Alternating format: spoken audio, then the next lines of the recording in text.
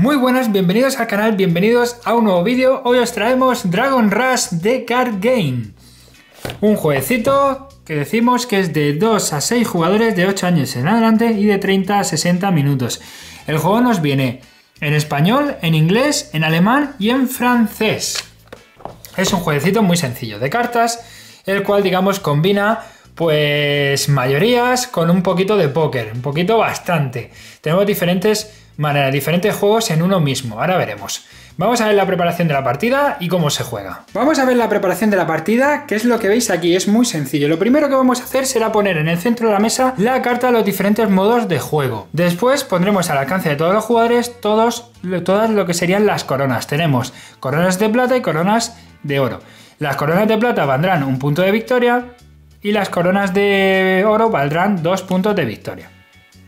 Barajaremos todas las cartas y las pondremos al alcance de los jugadores. Repartiremos 5 cartas a cada jugador, que será su mano inicial. Después colocaremos la carta de indicador de coronas.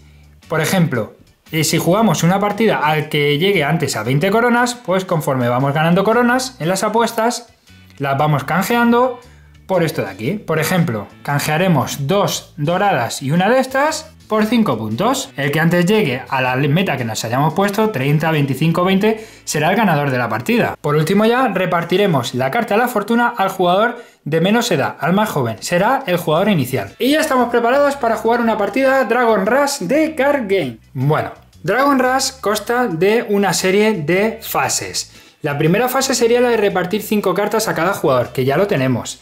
Después jugaríamos una fase que se llama fase de captura. Después de la fase de captura, jugaríamos una fase de desafío. Y por último ya resolveríamos el desafío y otorgaríamos a los ganadores las diferentes coronas. Una vez terminada esa, cuarta fase, pasaremos a una quinta fase que sería la de fin de ronda, en la cual pasaríamos la carta de la fortuna al jugador de nuestra izquierda, el cual empezará en el siguiente juego. En la fase de captura al jugador que le toque, en este caso empieza el jugador inicial, tiene dos opciones. Si decir ras, en el cual cambiará tantas cartas como quiera de la mano por cartas eh, del mazo. Y esto traerá unas consecuencias que ahora veremos. Imaginemos que se cambia dos cartas, las sustituye por otras dos. Y esa sería su fase de captura. Ahora veremos qué eh, consecuencias pueda tener las diferentes cartas cuando las descartamos. Así estaremos jugando la fase de captura hasta que todos los jugadores, todos los jugadores la hagan tres veces o alguien decida romper el juego, como se dice. Alguien diga Dragon Rush. Si alguien dice Dragon Rush, automáticamente ya nadie más puede cambiar cartas y empezamos la fase de desafío. Vale, vamos a ver cómo es la fase de captura realmente. En tu turno, en la fase de captura, tú como hemos dicho puedes decir si decir Rush, por lo tanto sigues en fase de captura o dices Dragon Rush, quiere decir que termina y empieza el desafío. Si decides seguir en fase de captura, tú en tu fase de captura puedes coger el número de cartas que tú quieras y cambiarlo por nuevas. Esto es como en el póker. Por ejemplo, yo con estas dos monedas me las quiero, las quiero cambiar y me quiero quedar con esta. Ya veréis por qué. Voy a cambiar estas dos, estas dos cartas. Pues por lo tanto, cojo dos cartas para cambiar. Siempre se dejan ocultas todas menos la última, la que nosotros queramos. Siempre se muestra una que es la última, ya veremos, porque hay cartas que tienen efecto cuando se descartan. Pero siempre se muestra la última. No hemos descartado dos y hemos mostrado solo esta última. Vale, pues como nos hemos descartado dos, cogeremos dos y ya le tocará al siguiente jugador. Y así iremos jugando la fase de captura hasta que se juegue tres veces cada jugador o alguien la rompa diciendo Dragon Rush. Ahora vamos a ver qué habilidades hay, porque por ejemplo, tenemos las cartas de huevo de dragón y las cartas de escombro. Estas serían las cartas de escombro y las cartas de huevo de dragón la vamos a dejar aquí aparte de momento. Tenemos las cartas de escombro que son el azufre, la ceniza y la roca. Estas cartas, ¿qué pasa? Que cuando las descartamos, si queda esta carta, una de estas cartas encima, la visible, tendrán un efecto. Por ejemplo, si descartamos cualquier número de cartas, por ejemplo, vamos a descartar, tenemos esta no la tenemos, y tenemos estas 5 y descartamos 3, por ejemplo, y dejamos la roca visible, si, se si la carta que queda visible es una roca, en el siguiente turno no se podrá declarar Dragon Rush, aunque lleven una buena mano.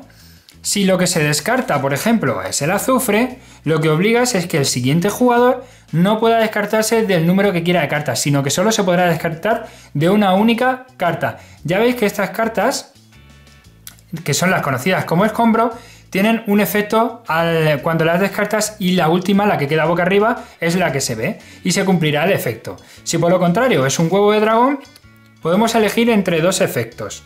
Uno sería coger una carta adicional, es decir, si hemos descartado eso y hemos descartado tres cartas, cogeremos hasta cuatro cartas.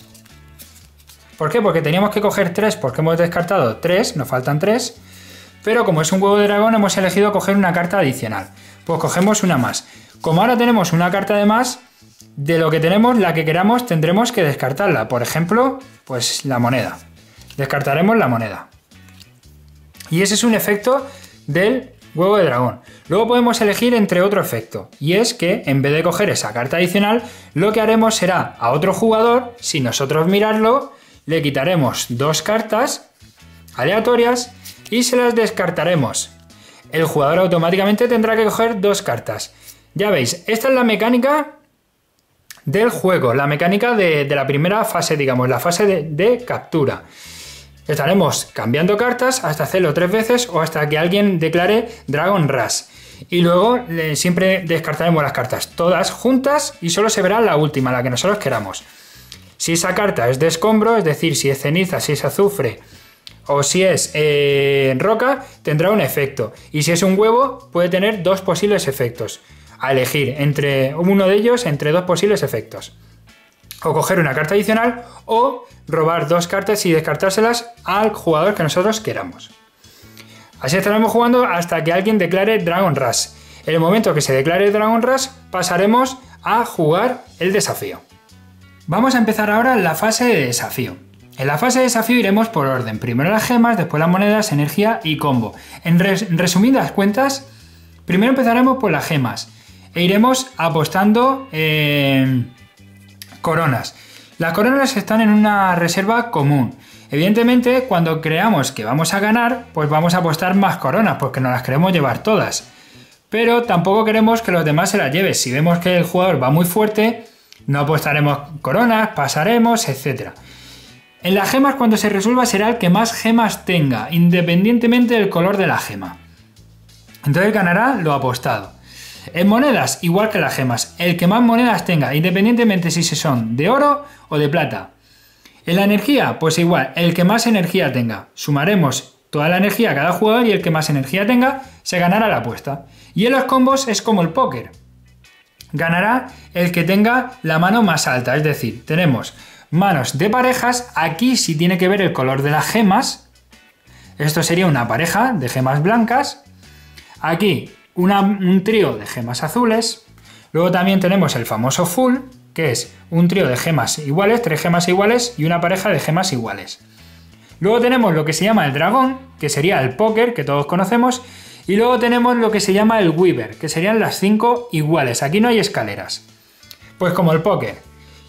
La pareja gana a nada, el trío gana a la pareja, el full ganará al trío el póker, o en este caso el dragón, ganará al full y el win ganará al póker y a todo lo demás, evidentemente, como esta gana a todo lo demás por debajo, etc.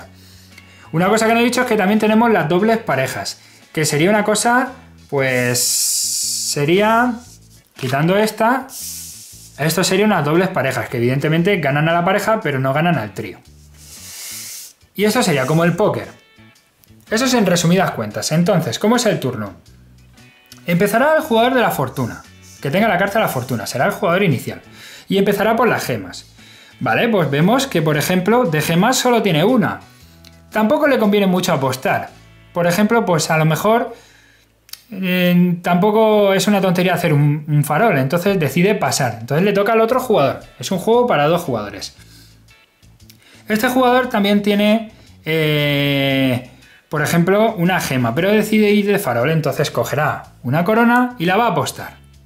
Entonces ahora el otro jugador, el siguiente jugador, hay una apuesta, le han subido, por lo tanto puede decidir si subir la apuesta o pasar. Imaginemos que decide subir la apuesta. Pues ahora le toca al otro jugador otra vez. y decide verla o subir la apuesta. Ahora mismo decide verla. Por lo tanto, se queda como está. Este ya no puede subir. Pasaríamos al siguiente modo de juego. En el momento que la ve, cuando se resuelva, el que gane se llevará lo que hay aquí más una. Pero imaginemos que en vez de subir la apuesta a este jugador, este ha apostado esto y este decide que sus cartas no son buenas y decide pasar. Como decide pasar, esta automáticamente ya se la lleva el otro jugador. Si pasas, te la llevas. Puedes ver, puedes pasar o puedes subir. Son las tres opciones. Ahora nos vamos al de las monedas. Pues ahora empieza otra vez el jugador de la fortuna. Tiene dos monedas, decide arriesgar. Va a apostar dos, una moneda de oro. El otro jugador tiene una moneda. Lo ve difícil. Lo ve difícil. Puede ir el otro de farol, no lo sabe, pero no se la va a jugar. Por lo tanto, decide pasar. Por lo tanto, esta moneda de oro se viene al jugador que la apostó. Si decide verlo, esta moneda de oro se quedará aquí. Imaginemos que ha decidido verlo. Se queda aquí. Para que veáis todas las, las cuestiones. Ahora nos vamos al modo de energía. El modo de energía es quien, la suma de la energía quien más tenga. Como podéis ver, los escombros, en este caso la ceniza, el azufre o la roca, que aquí tenemos roca también, no funcionan en el desafío. Es decir, en la energía no funcionan. En las monedas tampoco. Y en las gemas tampoco. Y los combos tampoco. No valen para nada. Las cartas de escombro en esta fase no valen para nada, o sea que ojo, hay que cambiarlas porque son una full, ¿vale? Entonces, como podéis ver, no valen. Luego tenemos el rollo de los huevos de dragón, que aquí tenemos uno, que solo valdrá para la fase de energía, ni para los combos, ni para las gemas, ni para las monedas. También hay que tenerlo en cuenta. ¿Vale? Pues este tiene de energía, tiene 0, 0, 2, 3 y una 4 de energía. Y con 4 de energía, pues decide que parece energía bajita, pero bueno, decide apostar uno. Uno de energía, a que se lo va a llevar él. Este cuenta su energía y ve que tiene 2, 3, 4, 5, 6, 7 y 8. Tiene mucha energía. Por lo tanto, va a subir una de oro. Ahora, este puede decidir otra vez si subir o verla. Si decide que subir, este podrá volver a subir o verla o pasar. Si decide pasar, automáticamente todo esto se lo lleva a este jugador. Y si decide verlo, pues veremos a ver quién gana. Ahora en este caso decide verlo.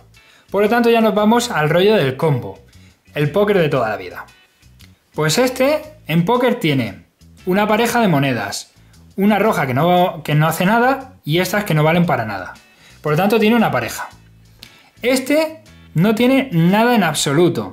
No tiene nada. Por lo tanto, este, que es el jugador inicial, decide apostar. Y decide apostar con una pareja, se va a apostar con una monedita de, plata. Este podría tirarse el farol para intentar que el otro pasara. Pero no, le, no se la va a jugar, ¿eh? por lo tanto va a pasar. Ni la va a ver, va a pasar. Como pasa, esta moneda se la lleva el otro jugador. Ya hemos terminado todos los modos de juego. Ahora lo que vamos a hacer será ir viendo quién gana en cada cosa. En gemas, como no hay nada apostado, ya se la llevó, pasamos. Si hubiera que ver en gemas, pues veríamos quién tiene más gemas. En este caso, este tiene una y este tiene una. Habría un empate. Por lo tanto, desempataría el jugador con la carta de la fortuna. Entonces, el que más gemas tenga se llevará lo que hay aquí más uno. En este caso, como nadie ha apostado, pues no hay nada. Bueno, o habían apostado, pero se habían pasado y se lo había llevado este jugador. Ahora nos vamos al tema de las monedas. Han apostado dos de oro y el otro lo ha visto. Por lo tanto, ¿cuántas monedas tiene este? Tiene dos monedas y este tiene una. Por lo tanto, gana este. Por lo tanto, como se ha visto, se llevará esta moneda y una adicional de plata. Ahí está. Y ahora, nos vamos a la energía y contamos los jugadores la energía. En este caso hemos dicho que este tenía 4 y este tenía 8, por lo tanto gana este. Por lo tanto se lleva todo esto y además se lleva una moneda más de plata. Por último, el combo. El combo no tiene nada, no se juega. Por lo tanto, ya hemos terminado la ronda. Si hubiéramos jugado el combo, pues miraríamos quién gana. Como sabemos, pues la pareja ganará. Eh, si empatan en pareja, lo resuelve el jugador de la fortuna, porque temáticamente es el que tiene la fortuna. Si no, a las dobles parejas, o sea, a la pareja le ganan las dobles parejas A la doble pareja le gana el trío, al trío le gana el full, al full el dragón, que es el póker de toda la vida, y al póker le gana el Weaver, que es el repóker de toda la vida, las 5 iguales. Y ya está. Hemos hecho la repartición de puntos, ahora pasaría al jugador inicial al otro jugador o al jugador de su izquierda y empezaríamos una nueva ronda. Ahora eso sí, contabilizaríamos puntos, antes de nada. Este jugador tiene 4 puntos, por lo tanto se queda con estos 4 puntos porque no puede subir a 5. Pero este jugador tiene 5 puntos justos, pues se quitará estos puntos, los devolverá al inicio y subirá 5 puntitos. Este jugador es el jugador rojo, pues subirá 5 puntos. Y así iremos jugando hasta conseguir la meta que nos hemos propuesto, o 20, o 10, o 15, o 25, o 30 puntos. El jugador que antes llegue a la meta será el ganador de la partida. Y nada más, esto es Dragon Rush, pero ojo, es el modo clásico. Luego el juego además tiene el modo eh, cuenta atrás y el modo en parejas. Hay que tener en cuenta que tiene un total de 3 modos de juego. Como podéis ver es un juego muy sencillito, puede jugar todo el mundo. Es el típico juego que digo yo que es el juego digamos, de descanso, de relleno. Estás eh, cansado de un euro duro, acabas de terminar de una Meritrash, un montón de tiempo, pues es el típico jueguecito para pegarte una risa y jugar y, no es nada complicado, todo el mundo puede jugar, es muy fácil que vea mesa, muy rápido de jugar, como podéis ver, también depende de los números de la meta que te pongas, pero como podéis observar es un jueguecito muy sencillo. Luego también es un juego muy divertido. Evidentemente escala muy bien. A dos funciona muy bien.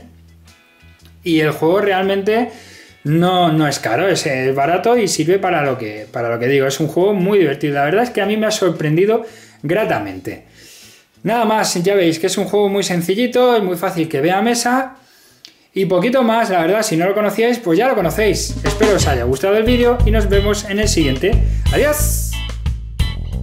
Y recuerda, si te ha gustado el vídeo, suscríbete al canal y dale a like. Si quieres saber más sobre el canal o los próximos vídeos que suba, sígueme en mis redes sociales, Twitter, Facebook e Instagram. Nos vemos en el siguiente vídeo. ¡Adiós! ¡Muerte y destrucción!